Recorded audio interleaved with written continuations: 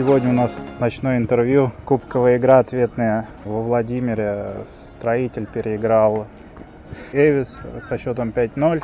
С нами Андрей Миронов, один из самых талантливых и титулованных футболистов Владимира и Владимирской области. Андрей, привет. Сегодня Купреевский строитель играл во Владимире. Почему так сложилось? Почему не в Купреево игра происходит? Привет. Сегодня играли второй ответный поединок полуфинального в Кубке области. Первую игру выиграли у них на выезд 9-1. В связи с этим было решено, что сыграем здесь, на стадионе Торпеда. Скоро это покрытие перестилает нижнее поле, но сегодня мы успели уложиться в даты. Сыграли ответную игру, в принципе, ничего не значит, потому что 9 мячей, наверное, за целый круг мы не пропускаем. Тут как-то забить в один матч будет крайне сложно.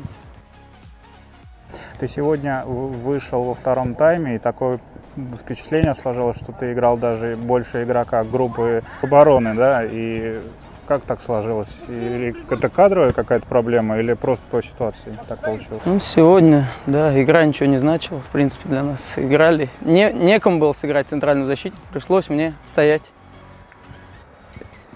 Кадровый, не кадровый, не знаю. Тренер решает. А то, что на замене, начал я каждую игру на замене, кроме в Ж и с гранью на кубок. Второй матч играл в составе. Больше все остальные игры выходил в втором тайме. Сегодня Купреевский строитель впервые в своей истории, я посмотрел э, матчи, да, вышел в финал Кубка области. А, до этого проигрывал три года подряд в полуфиналах. Как настроение перед финалом в команде? Настроение хорошее у нас команда, достаточно неплохо выглядит. Во всех чемпионатах и кубках, которые проводятся в Владимирской области, люди, некоторые поигравшие, кто-то молодой, желание у всех большое сыграть. Кто-то кубок никогда не выиграл, я вот никогда не выиграл. Еще кто-то выигрывал, но там, не больше одного раза было. Даже чемпионат у нас люди, многие по три раза выиграли, а кубок так не удавалось. Ну, я считаю, что кубок по будням играется, из-за этого у нас многие работают, не в оптимальных кондициях подходят к играх. Игры вечером тоже, с работы тяжело, голова на работе остается, не всегда с первых минут входим в игру. Всякие трудности случаются. Пару недель назад я общался с Иваном Каратыгиным, тоже записывал интервью. Он спрогнозировал финал «Строитель в НИЗЖ» и сказал о том, что будет э, бескомпромиссная борьба и кто-то победит с разницей 1-2 мяча. А, какой твой прогноз на, на финал? Ну, я думаю, что также с НИЗЖ будем играть, потому что и чемпионство последний, сколько, три года, наверное, уже оспаривает НИЗЖ и строитель. Ну и кубок чаще всего. Но в том году нам полуфинале, они попались, мы в пенальти вылетели. Скорее всего, в Кольчуге на натуральном поле им тяжелее играть. Они привыкли к искусственному. Там немного другой футбол. Поставлен на нас 2-0. Пусть будет так. А в 2016 году ты уже играл в финале Кубка области и играл как раз за вниз АЖ, даже гол забил. А как тебе вот соперник именно вниз АЖ? Если, конечно, они пройдут еще. Неплохой защитник центральный, Михаил Чечеткин, там, конечно, Максим Быков хороший. В защите они организованно играют. Так, с нами, по крайней мере, что я игры видел, спереди упрощают они игру. Надеются на контратаки. Это мое мнение как. Не сильно в футболе понимаю иногда. Вот. Если мы первый забьем, нам будет уже намного проще на контратаках действовать. Они где-то раскроются. Зависит, кто первый забьет, тоже многое. Так игра будет, борьба, борьба, как обычно. Напряженные игры бывают. В основном борьба, где-то удача повезет кому-то больше, где-то мастерство может сыграть некоторых исполнителей. Не могу судить, как будет. Ковровский ЗИД, э, рекордсмен турнира, 14 кубков у него. Э, в этом году ЗИД совсем не тот, и потеряли для соревнований такого сильного соперника, как ты думаешь? Ну да, я считаю, что Ковровская команда всегда была на ведущих ролях Владимирской области. В Кубок они тоже очень успешно выступали. Считаю, что это большая потеря. Там люди всегда готовы были к сезону, тренировались, преследовали цели, победить. Жаль, что такой команды нет, да, и ничего хорошего для футбола Владимирской области в этом нет точно.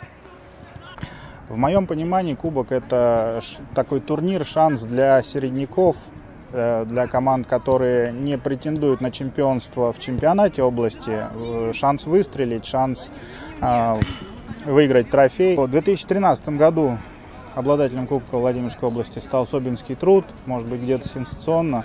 Вот, но мне кажется, что такие команды, ну, как бы должны воспринимать этот турнир как шанс взять трофей. Вот, как ты думаешь, ты согласен с моим мнением? Или... Согласен, что все команды, которые чего-то хотят добиваться в футболе, в областном, у нас любительская лига, как бы, любительский кубок. Тут зависит много от подготовки, от настроя.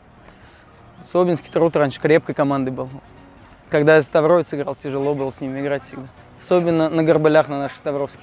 Где получше поле, там полегче нам с ним было. Существует мнение, что кубок, э, такой турнир менее э, престижный, что ли, чем чемпионат. Э, как ты думаешь, нужны ли Кубку какие-то перемены для того, чтобы вернуть какой-то былой престиж, чтобы команды реально рубились, а не вылетали в первых каких-то стадиях? Да, раньше, э, например, команда могла просто не поехать, сейчас за это дисциплинарные санкции в виде снятия трех очков да, в чемпионате. Вот. Как, вот, нужны ли перемены какие-то Кубку, чтобы поднять престиж? Я считаю, что перемены никакие не нужны только с первой группы команды, по-моему, играет, и парочку со второй. Я не знаю, по какому принципу они туда попадают. С, с первой обязательно да, команда должна обязательно. играть, а с второй кто хочет. Желание. Некоторые игроки, я слышал, с второй группы играют тоже за, за вниз же, там еще за кого-то. Видимо, для второй группы это вообще не повод выступать, там силы тратить, где-то финансы. Команд ограничен. Не все там, я слышал, некоторые команды даже свои деньги ездят. Гетеры себе сами покупают форму. Молодцы, люди заинтересованы, но не все, конечно. Футбол любят, молодцы. Но как, думаю, что реформы никакие не помогут в Кубке. А, разговаривая с представителями разными э, областной футбольной общественности, я выделил для себя два мнения. Вот где играть финал Кубка области. А, одни говорят то, что хорошо бы и престижно играть на большой спортивной арене «Торпеда», то есть э, это мотивирует игроков сыграть на большом стадионе. И другие говорят, что лучше выезжать в область, по разным городам ездить. Вот какое мнение тебе ближе? Мое мнение, что в области тоже люди хотят посмотреть борьбу за титул. Команды в финале хорошие в основном встречаются, но тоже здесь палка о двух концах. На торпедо тоже очень приятная игра. Здесь поле, во-первых, больше, чем во всех, на всех стадионах области. Я один раз играл только в своей жизни, как раз в финале Кубка. Тяжело там было уже, у меня и так сил немного. После первого тайма уже еле дышалось. Когда дополнительно началось, уже ноги начало сводить, как обычно. Так что арена престижная, считаю. Задавал вопрос э, представителю в НИЗЖ Володя Гусеву, и тебе тоже вопрос задам. А как ты думаешь, нужен ли области матч формата сборной области и какой-то профессиональной команды, например, Торпеда или Муром? Ну, в конце сезона, например. Ну, с Муромом мы играли товарищескую игру за Купреева. Мы вообще не в сезоне были. Тяжело нам с ним было, честно, когда там команда тренируется, а мы вышли из-за стола, грубо говоря, после новогодних праздников, там, в феврале, что ли, в марте. Тяжело, не бежится ничего. А считаю, сборной области против торпеда неплохая идея, или против Мурома.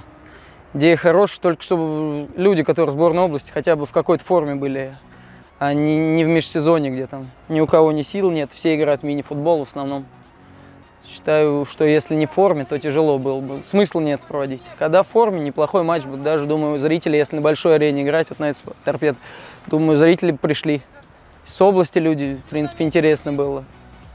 Ну, смотря опять, кто бы руководил, какие игроки играли. То вот играли один год там, некоторые люди некомпетентные в составе сборной области играли, я считаю. Я как зритель в то время был. Некоторые люди явно недо, не, недостойные там играли, по моему мнению. По какой причине они туда попали, мне непонятно. Не будем фамилии называть, но это смешно. Андрей, ты много где поиграл, в разных командах областных, да? А, такой вопрос, где самые яркие болельщики, где, ну, скажем так, тебе запали в душу? Ну, я играл в команды, где, в принципе, нет болельщиков за Внизже играл. Особо болельщиков нету, не фанатов. Так обычные мужики, друзья друзей. За Ставроец тоже, когда я играл, особо болельщиков не было, уже на закате команда была. Даже когда выиграли чемпионство. За Купреева одни деды на лавках. Так что особо болельщиков я так не увидел. Ну, в Коврове так вот, когда играл, когда еще молодой совсем был, там и фанаты кричали вроде. В Юре в Польском как-то видел, тоже фанаты были активные, в Собинке фанаты активные. Кого-то из них выделить, ну, не стал бы выделять. Каждый по-своему, наверное, активно поддерживает команду. Строитель набрал очень хороший ход по чемпионату, забивает много мячей. такой вопрос, кто самый неудобный соперник для строителя? С кем было труднее всего? Я не знаю, пол первый круг пропустил. По какие игры играли, но опять принципиалка снизу же 0-0. Что, не забили им ничего. Игра ровная. С, э, как Камешкови, к, Ютекс, да? Ютекс. 2-2 сыграли. Ну там две ошибки наши. Защитники игр... сыграли у нас не очень хорошо. В двух случаях 2-2 из-за этого закончили. Остальные проблем, по-моему, не испытали. Но еще второй круг... А, с Гусем, по-моему, тяжелая игра была. А, мы им забили сразу. В кубке тяжелая была. А вот, ну, я думаю, во втором круге Гусь, Струнина, Гвардеец, ЗЖ. Все те же соперники, с кем тяжело быть. Понял. А, знаю, что ты занимаешься тренерской деятельностью. Сегодня тебя ребята поддерживали, молодые, да, на трибунах. А, поделись успехами своих подопечных, как развиваются, как э, где-то участвуют, что-то выигрывают? Ну да, я работаю в детском центре молодежный с Иваном Каратыгиным, опять с Маратом, с Пашей. Вот, тренируем там детей. Я в микрорайоне Доброе, у меня в Добром дети. Каких-то их успехах говорить совсем не приходится. Мягко говоря, они не подготовленные приходят с животами, не спортивные. И родители хотят, чтобы мы сделали из них конфетку. Такое вряд ли возможно, я считаю, что из семьи это должно идти, где-то от родителей, чтобы отец где-то был заинтересован, мать там куда-то подгоняла его. Так, чтобы бросил меня, ко мне, допустим, думать, тренер делает чудо, это тяжело. А еще у меня группа есть. В школе я веду в Ленинском районе, в 23-й гимназии. Вот. У них самый громкий успех.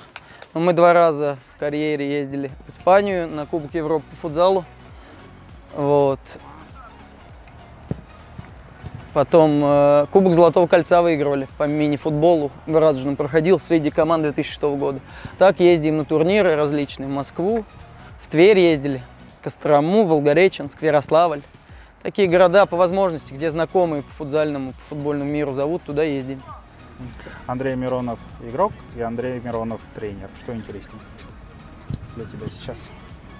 Ну, сложный момент. Смотря, если бы попадались люди квалифицированные, я был тренером, это было бы одно. Пока у меня совсем печальный.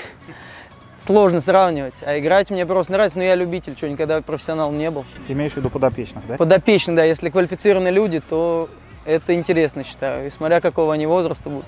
Если взрослые, тоже интересно. Но я пока, мне 28 лет, я еще щегол, чтобы быть тренером, там кого-то воспитывать в игре приходится подсказывать, меня некоторые не слушают. Константин Шканов постоянно вот, не воспринимает подсказки, теряет позицию, непонятно, чем на поле занимается. Один раз обозревал твой турнир, э, которым ты был организатором. Турнир был э, памяти Александра Михайловича Щеткина. Летом проходил. А, расскажи, как поживает сейчас этот турнир и какое у него будущее? Я два года проводил этот турнир среди, опять же, юношей 2006 года. Э, у нас в стране определенные форматы, и до 12 лет они играют формат 8 плюс 1 на полполя. А сейчас уже время, что им 13 лет, они играют 11 на 11. В предыдущие годы я всегда свою команду выставлял туда, чтобы как почтить память деда. Вот. А в этом году я просто не набираю 11 игроков. И все лето был занят, я тоже на турнир уезжал тут за различные команды и за границу, и в, в России. Я хотел вообще в сентябре этот турнир провести, но пока формат, я не знаю, либо мини-футбол, либо 8 плюс 1. Потому что во всех городах футбол 8 плюс 1, 7 на 7, ой, 8 на 8, 7 на 7 очень развивается и взрослый, и детский. Очень интересен очень людям, и спонсорам, и болельщикам вообще. Интересный футбол. Можно, можно ожидать продолжения, да? Да, можно ожидать продолжения, но в нашем городе что-то все загибает. Пять лет играли, вот за Лавр у нас команда была 8 на 8. В этом году 5 команд всего заявилось, мы сочли этот турнир неинтересным. Хотя вот в Москве турнир проводится, континентальная футбольная лига, там 68 команд со всего света играет. Я за московскую команду два года выступал, хотел Владимирских заявить туда. Там взнос такой и проживание, организационные финансы очень тяжелые для нашего города. Тяжело найти. Есть люди, которые поддерживают как бы футбол. И по детям, по взрослым говорить, Лавр, Владимирский стандарт, люди. Огромная благодарность им. Еще ряд людей есть, которые помогают. И форму купить где-то, и мячи. А так, в целом, если глобально взять взрослых, это, в принципе, мало кому интересно. Если кому-то это не интересно, опять же, это вот, ниже же, там, видите, что-то пытается пыжиться. У нас строитель Сергей Круглов тоже занимается. Бизнесмен, видимо. Хазби у нас тоже, я не знаю, фамилия тоже. Заинтересован человек, хочет побеждать, футбол интересен. Так что как чего будет, сложно судить. Отлично, Андрей, с победой. Успехов по всем фронтам. Спасибо, Володь.